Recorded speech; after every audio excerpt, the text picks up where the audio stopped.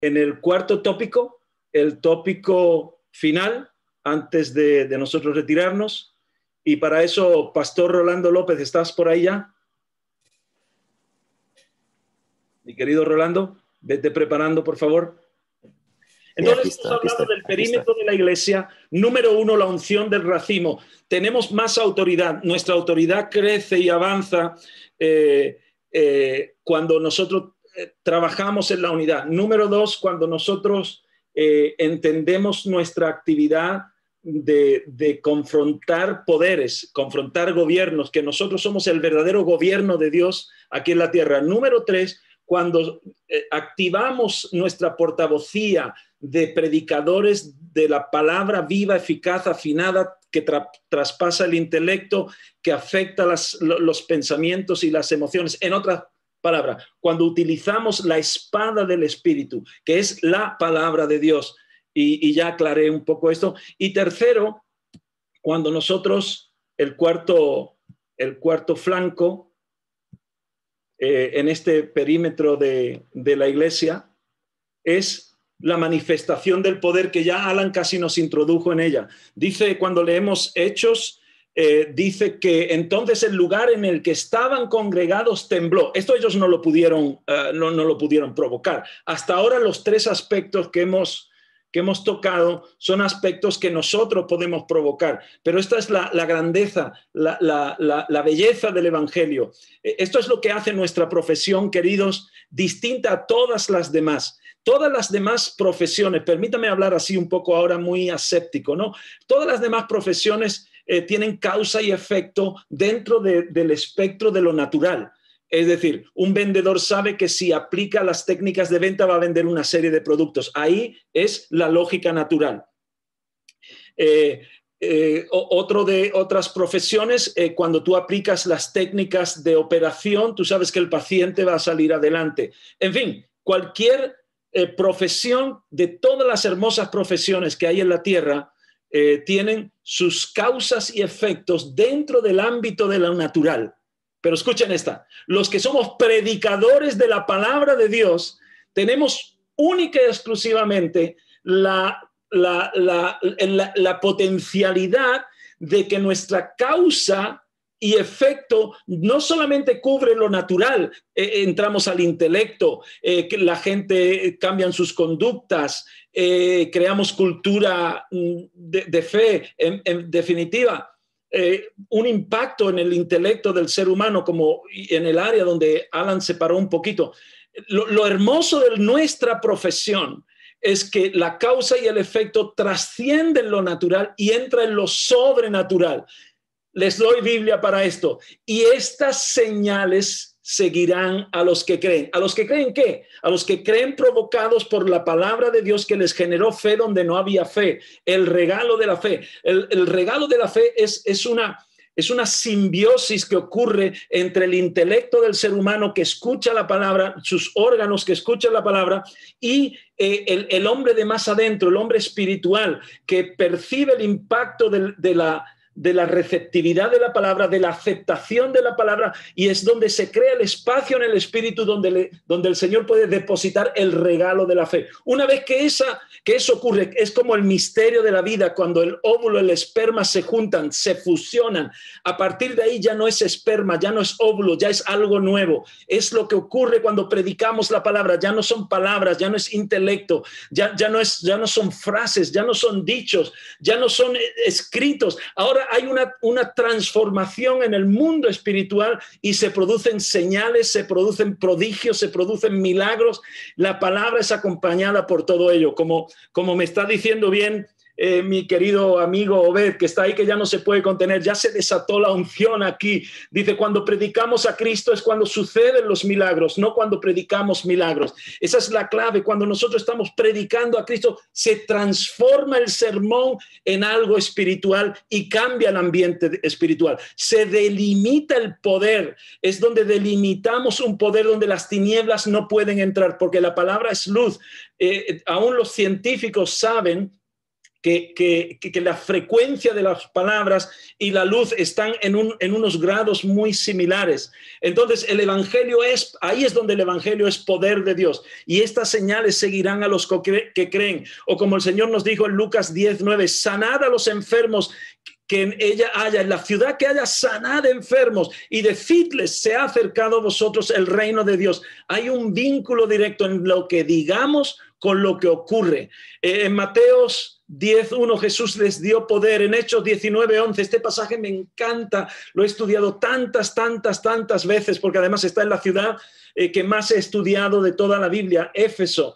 Eh, esa, esa ciudad que tanto impactó y tan clave fue para todo el desarrollo del Evangelio.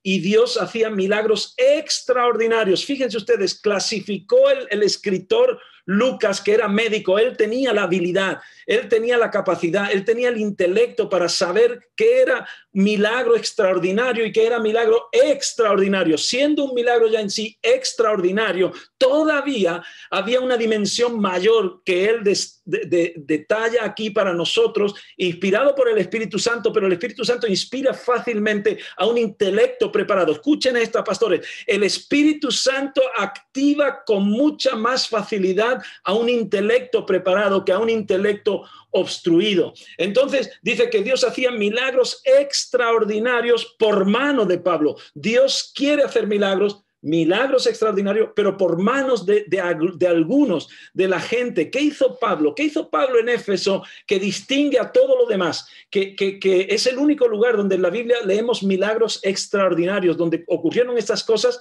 que le llevaban aún los delantales.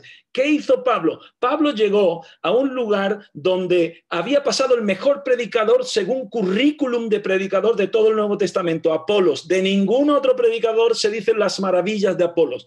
Había llegado Pablo a un lugar donde habían tenido de los mejores familias pastorales de toda la Biblia, Aquila y Priscila. Y aún así, Pablo detecta que lo que habían oído no era suficiente. De ahí que les imparte el Espíritu Santo. Pero algunos nos quedamos ahí, los carismáticos pentecostales, nos quedamos ahí en la impartición del Espíritu, pero no trabajamos eh, eh, la creación del intelecto que puede usar el Espíritu Santo para que las palabras sean de otra dimensión. Y por eso Él se lleva a esos doce ya impartidos del Espíritu Santo. No le digo, ala, y a correr. No, ahora los trabajó, los trabajó y los trabajó durante dos años en la escuela de Tirano, dice la palabra, una vez más, no los llevó a la sinagoga, no los llevó al templo, no, no los llevó a un lugar de, de, simplemente tener adoración, los llevó a un lugar donde se entrenaba el cuerpo, donde se entrenaba todo el ser, a un lugar que hoy algunos llamarían secular. Ese fue suficientemente bueno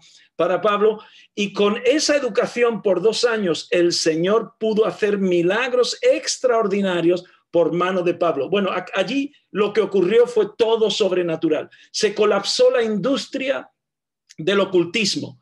Eh, quemaron por 50 mil piezas de plata los, los libros de ocultismo. Alguien calculó que sería un valor de como 7 millones de dólares solo en libros de ocultismo en, en hoy día. Imagínense la dimensión, colapsó por completo, desapareció toda instrucción oculta en un lugar que estaba súper oculto, un lugar donde estaba la deidad más potente del mundo en aquel momento, la diosa Diana, que todo el mundo, Asia y todo el mundo veneraba. Ahí hubo el mayor confrontamiento de poder. ¿Dónde? En lo sobrenatural. Y es lo que Dios nos ha, nos ha ah, enseñado, nos ha prometido, que la iglesia está dentro del marco de su autoridad cuando abre los espacios abre la fe, abre el entendimiento, proclama al Cristo de poder para que se, se, den las señales y prodigios y milagros. Yo les puedo decir que he visto milagros extraordinarios en mi vida. Y les puedo decir que cuando menos milagros he visto en mi vida es los últimos ocho años de mi vida. Desde que vivo en San Antonio es la etapa de mi vida donde menos milagros y ninguno extraordinario he visto.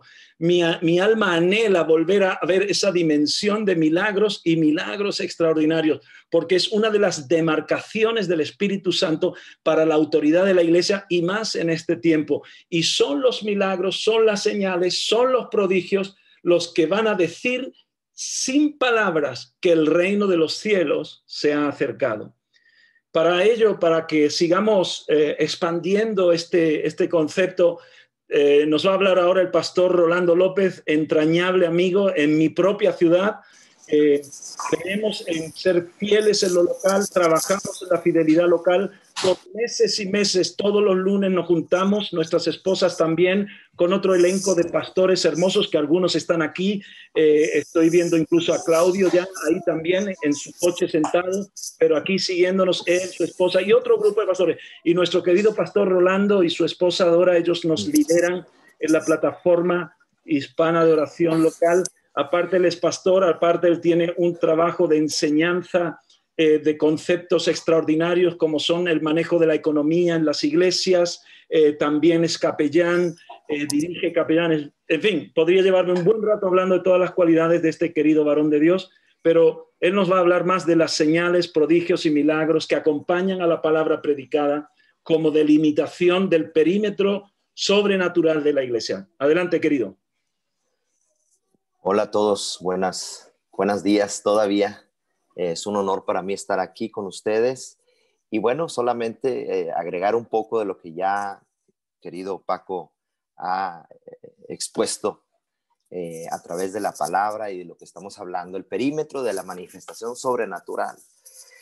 Qué impresionante la forma en que Pedro y Juan fueron libres, comenzando desde ahí. Hechos 4, 23, 31 una, una situación complicada, una situación difícil, y quizás lo podamos leer y decir, bueno, pues es algo que pasó y bueno, lo soltaron, pero vivirla, estar ahí, eh, el acontecimiento fuerte que, que, vivieron, no fue algo como que pasajero, es algo que marca vidas. E, ellos regresaban para dar noticias a todos los sacerdotes. estoy hablando del contexto de lo que fue, de lo que estamos, donde estamos apoyándonos. Eh, eh, fueron a darle eh, las noticias a los sacerdotes, a los creyentes, a los ancianos. Y esto provocó que al oír que hubo, provocó una manifestación de voces orando. Impactante la situación porque el que esté Pedro y Juan en la cárcel, luego viene una manifestación de oración. Viene, viene una unidad de oración. Desataron una voz unánime, eh, algo de lo que se está desatando en las ciudades a través de la PHDO y es algo que, queremos que siga adelante. Y esta manifestación unánime recordaron lo ya dicho por Dios, ¿ah? Dios mismo hablando. Y cuando solicitaron que eh, le piden a Dios, extiende tu mano en el verso eh, 30 del capítulo 4 de, Hechos, le piden a Dios, extiende tu mano, vino una llenura y un temblor, una llenura y un temblor donde fueron llenos del Espíritu Santo predicando con poder. La, hablar de las manifestaciones sobrenaturales quizás a veces nos, nos, en, algunos, en algunos casos eh, las personas se llenan, se llenan de ciertos misticismo, eh, buscan, buscan diferentes cosas que acontecen aquí o allá. Pero la realidad de todo esto es que la, manifestación sobrenatural está en nosotros y eso es algo poderoso. Quiero leer el verso 30 de la NTV que dice, extiende tu mano con poder sanador. Poder sanador, le piden al Señor, que hagan señales milagrosas y maravillas por medio eh, del nombre de nuestro santo siervo Jesús. Eso dice la NTV. ¿Hace cuánto? Y quiero hacer estas preguntas. ¿Hace cuánto que no vemos estas manifestaciones? No me tienen que contestar, ustedes mismos hagan una eh, evaluación, quizás lo acabas de ver o quizás lo estás viendo ahorita, no lo sé. ¿Con qué regularidad ocurren? ¿Cada y cuándo ocurre esto? ¿Queremos que esto ocurra en nuestras reuniones? ¿Sí? Claro que deseamos que esto eh, sea algo que ocurra en donde nos reunimos, donde nos congregamos o donde quiera que seamos enviados, ¿verdad? Porque no necesariamente tiene que ser ahí en las cuatro paredes donde presidimos, pero puede ser donde vayamos, puede ser eh, en un viaje a, Florida, en un viaje, eh, Dios puede hacer grandes cosas a través tuyo. Una de las cosas que queremos en nuestras vidas, es una de las cosas que queremos experimentar es esto, tener esas experiencias que, vemos en la Biblia, plasmadas en la palabra de Dios. Necesitamos extender nuestra mano para sanar. No va a ocurrir nada, queridos, no va a ocurrir nada si nosotros no hacemos eh, la labor, si nosotros no hacemos eh, el, el, el, movimiento, ¿verdad? Para que ocurran las cosas. Hay tanta enfermedad alrededor nuestro, hay tanta necesidad y lo único que se necesita es accionar. Es como accionar una palanca, es como accionar nuestra fe. Necesitamos extender nuestra mano para hacer señales. E, e, es importante las señales. A veces como que eh, omitimos esas partes y, y bueno, que el Señor los bendiga y que les vaya bien, ¿verdad? Y, necesitamos operar en las señales, necesitamos operar en ello. Las señales son necesarias para nuestro ministerio. Son señales que van a indicar eh, la presencia del Dios vivo en tu vida. Las señales hacen falta en nuestra sociedad. Si no podríamos eh, salir ahorita en el coche y, no hubiera señales de alto, no hubiera señales eh, a tanta velocidad tienes que ir, no hubiera semáforos, Ah, sería un caos, la ciudad sería un trastorno, no, nadie quiere salir y, ocurrirían muchas cosas terribles. Necesitamos extender nuestra mano para hacer prodigios, ¿verdad? No ocurrirá nada si no extendemos nuestras manos en el nombre de Jesús. Todo tiene que ser siempre como viene en el verso 30 de la, de la Reina Valera, e, en el nombre de Jesús, de tu Santo Hijo, en el nombre de Jesús. He visto, yo no sé, pero eh, creo que todos aquí ya lo han dicho antes y por eso no quiero tomar ese tiempo. He visto a Jesús haciendo milagros en la Biblia. Yo lo he visto, lo he leído, pero he tenido la visión, la revelación, eh, la interpretación. Cuando estoy leyendo, cuando estoy metido, cuando estoy meditando en la palabra, eh, tengo ese, éxtasis y puedo ver cómo el Señor hace milagros en la Biblia a través de otros hombres también.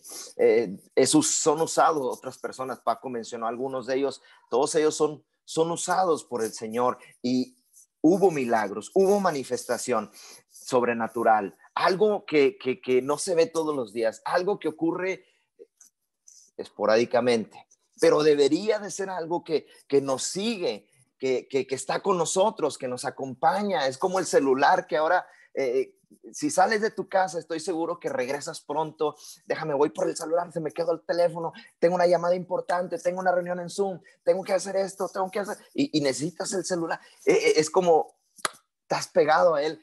Y esto debe de ser algo todavía aún mayor, que nos acompaña, que, que, que, ves una necesidad en la calle, inmediatamente actúas, inmediatamente accionas, declaras, profetizas a esos huesos secos, levantas las manos de los caídos, e, ejerces reino en la tierra. Eso es súper importante. Eso también debe de ocurrir en mí, hacer milagros en mi vida. Yo, yo particularmente he estado viendo milagros que están ocurriendo y, solamente es por creer, por caminar en la, naturaleza del Señor y, vivir en ese, en, esa, en ese espacio, en ese momento, en el tiempo real del reino. Una sanidad, mira lo que quiere, lo que es una sanidad. Una sanidad es una recuperación progresiva iniciada por el poder sobrenatural de Dios. Lo voy a volver a repetir. Una sanidad es una recuperación progresiva iniciada por el poder sobrenatural de Dios. Hay un poder sobrenatural que opera y hay, hay, hay necesidad de sanidad en nuestra ciudad. Hay necesidad de sanidad en nuestra familia.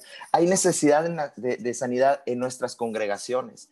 Hay tantas áreas en las que podemos mencionar que hay necesidad. Un milagro, un milagro es una obra de poder sobrenatural instantáneo. Es algo que ocurre, ¡pum!, ahorita. Y repentino, ocurre de forma repentina. Es la interrupción divina de las leyes del tiempo. No hay tiempo para un milagro. Ocurre y ya. Se le ocurrió a Dios hacer el milagro y lo hizo. Y esa, esa, esa interrupción divina de las leyes del tiempo, el espacio y la materia. Todo se interrumpe y ocurre algo sobrenatural, algo impactante, algo que cambió inclusive la mente de los que fueron por ahí eh, al ver un milagro en, la congregación, donde tú te encuentras en el lugar donde estás reunido, ahí en, en el HIV mientras estaba haciendo compras y estaba alguien infartándose, ocurre un milagro. ¿Por qué? Porque dejaste que Dios actuara a través tuya y el Espíritu Santo te movió a ir ahí y pusiste tus manos y recuperó las fuerzas y se levantó esa persona. Una señal es algo que apunta a alguien o algo, las señales como las que mencionaba, con un sentido de dirección y destino. Las señales son para dirigirnos a un destino. Tenemos que ver las señales como algo que apunta a alguien o algo con un, sentido de dirección y sentido y, destino, perdón. Una maravilla es algo que asombra al espectador, es algo que va a asombrarlos y testifica de Jesús, apelando a la imaginación, intelecto y el corazón. Eso es lo que es una maravilla eso asombra a las personas, eso los va a impactar, algo que van a ver, eh, los, va, los, va, los, va, a cambiar de, de, manera de ver eh, el cristianismo como el día de hoy. Lamentablemente eh, está por, por, los suelos en muchas, en muchas partes de nuestros países, en el mundo entero, y es necesario, es algo que se necesita hoy levantar, y, y, y para eso los milagros apelan a Jesús y apelan a la imaginación, testifica Jesús y el intelecto y el corazón. Dios confirmó y validó el ministerio de Jesús con tres obras. Una, haciendo milagros. Número dos, haciendo señales. Y número tres, haciendo maravillas. Fue Jesús el que nos, el modelo que nos dejó marcado para la manifestación sobrenatural, para este perímetro. Donde quiera que él andaba, ocurrió milagro había señales, había maravillas. Y esto fue aprobado públicamente, eh, esto aprobó públicamente a Jesús y su ministerio y confirmó su identidad como el Mesías. Eso lo, lo ¿cómo, nos confirma a nosotros como hijos de Dios hoy? La palabra de Dios. ¿Cómo, cómo nos identifican las personas? Solamente por una corbata y una Biblia en, nuestra, eh, aquí, cargando en nuestro brazo. Así nos identifican las personas que somos pastores, que somos ministros, que hablamos bien bonito la palabra. ¿Qué aprueba a nosotros que somos hijos de Dios? Si tú te das cuenta, Jesús, eh, eh, eh, a través de Jesús había milagros y eso, era, lo, eso lo aprobó. Había señales, había maravillas. Estas, estas cosas deben estar ocurriendo en nuestras vidas. Estas cosas y manifestaciones deben de estar sucediendo a cada instante. Jesús hizo siete señales. Una de ellas es convirtió el agua en vino. Eh, en una ocasión estaba en una reunión y pues se acabó el vino y pues, ¿qué hizo Jesús? Oh, arrepiéntanse pecadores, no deben de beber. No, él convirtió el agua en vino. ¿Sí? Una petición de su madre. y eso lo hizo él por amor a los demás y por amor a su madre. Sanó aún para el paralítico de Bethesda, ¿sí? Él no pasó por ahí y, como la parábola de buen samaritano, ¿no? Y él nomás lo vio tirado y pues bueno, ahí es cuando le toca, ¿no? No, se paró y hizo el milagro, y hizo una señal. Eh, sanó un oficial del rey, también operó ahí, pues que se haga como tú dices, Señor. Eh, yo entiendo autoridad y, y, fue sanado desde donde se encontraba quiero agregar un rápidamente algo que aconteció. Una vez estábamos orando en la iglesia y yo dije en ese momento, levanten las manos y, como tenemos ahora, hoy en esta actualidad, estamos usando las redes sociales, eh, a la semana regresó, vino una, una, persona y dijo, yo estaba escuchando, yo levanté mis manos y en eso yo sentí un calor que entró desde arriba hasta abajo de mi cuerpo. Mis rodillas no las podía mover y ahora puedo sentarme, puedo parar, puedo caminar, puedo danzar es el Señor. El Señor hizo hasta donde se encontraba, era creo que en Rockport, hasta allá, por allá por Dallas, hasta allá hizo un. ¿Por qué? Porque así es el Señor. Nosotros solamente tenemos que movernos en eso.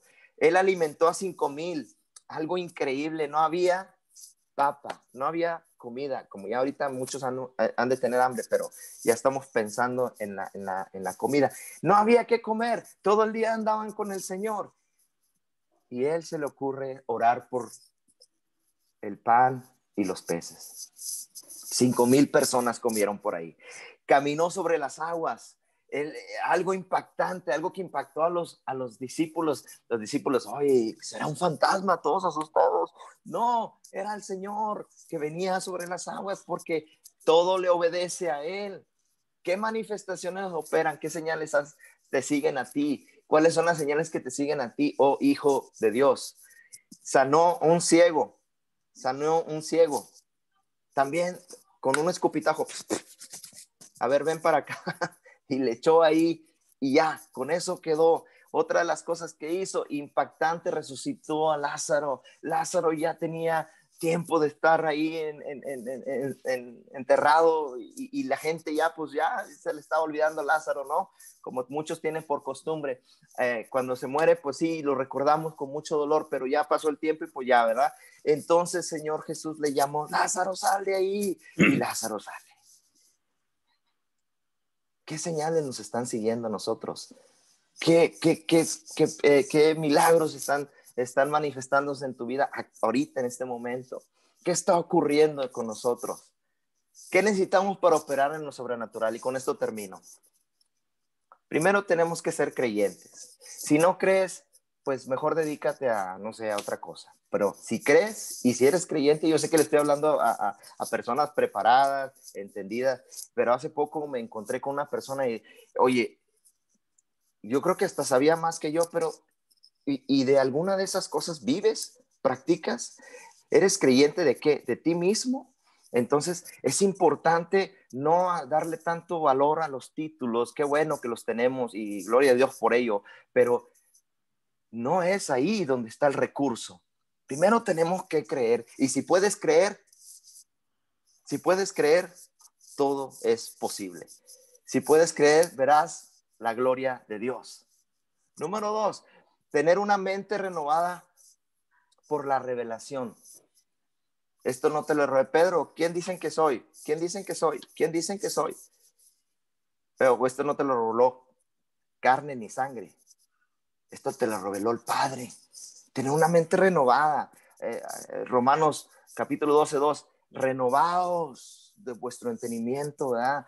No estar estancados. El estancamiento produce lama en, un estanque. Un estanque ah, empieza a, producir, eh, se muere todo lo que hay ahí. Algo que está estancado, no, que no fluye, no hay vida. Y mientras no hay vida, déjame decirte, pues huesos secos hay ahí, porque no hay vida. Necesitamos tener una mente renovada por la revelación en qué? En la palabra tener sabiduría del Espíritu Santo. Al que le haga falta sabiduría, pídasela a Dios, dice en Santiago. Pídanle a Dios la sabiduría. Dios da la sabiduría.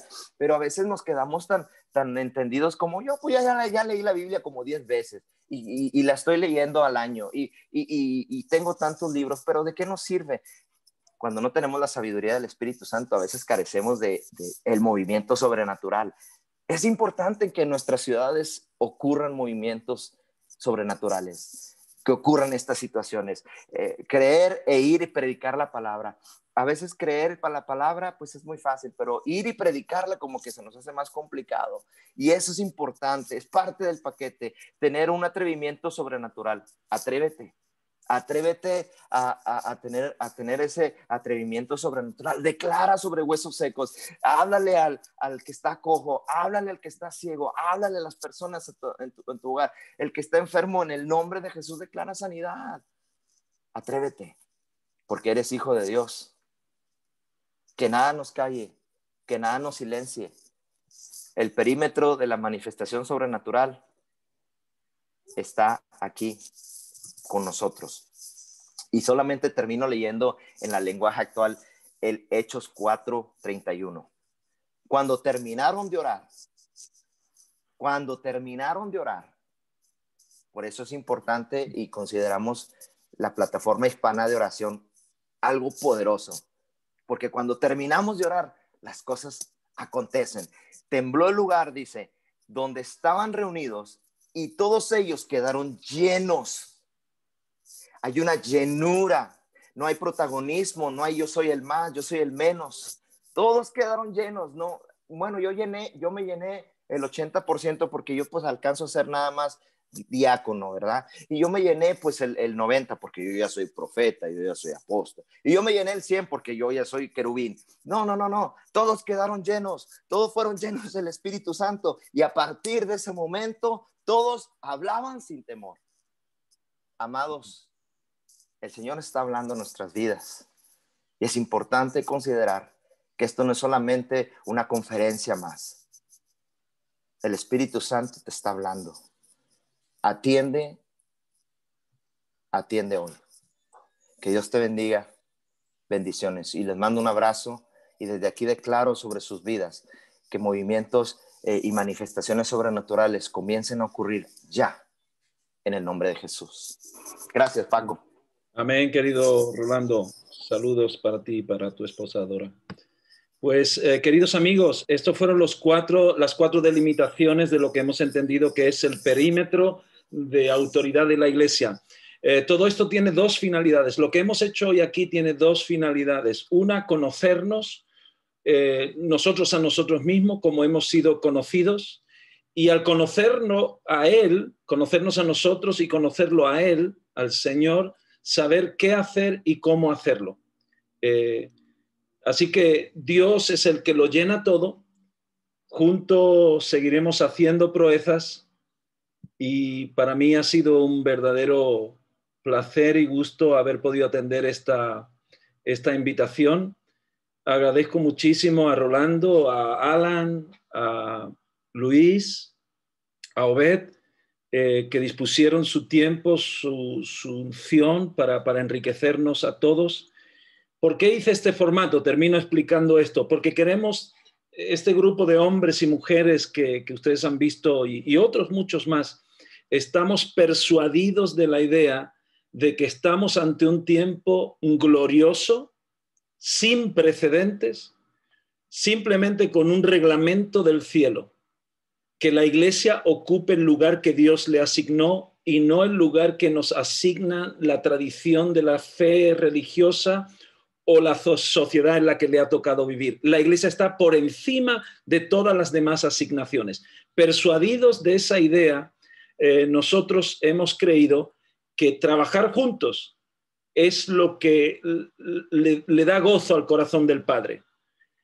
que creerle a su palabra y exponer su palabra es la encomienda, que saber que tenemos una función gubernamental por la sal que somos y la luz que somos en la tierra y saber que lo, sobrenatural es la dimensión que siempre tenemos que esperar en el ejercicio de nuestras funciones, porque así fue su promesa.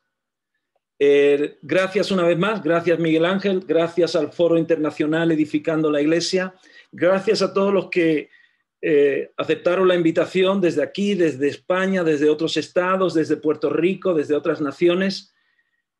Sigamos juntos haciendo proezas si Dios lo permite, y creemos que lo va a estar permitiendo, el segundo sábado de, enero tocaremos los siete montes o las siete columnas que impregnan cultura en nuestra sociedad.